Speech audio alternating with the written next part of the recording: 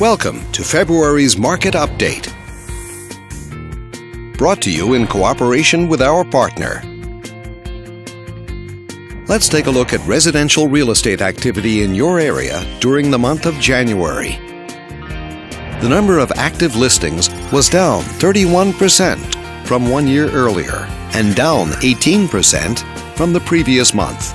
This smaller inventory means that buyers who waited to buy may have had a smaller selection to choose from.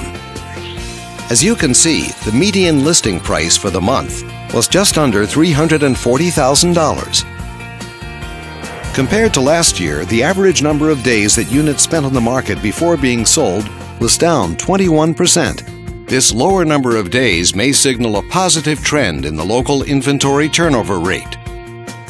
The median sale price was just under $250,000. The number of units sold decreased 13% year over year and decreased 48% month over month.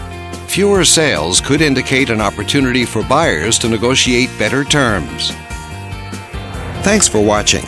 We hope you use this information to make smart, informed decisions in your upcoming real estate transactions feel free to contact us for more information or further assistance.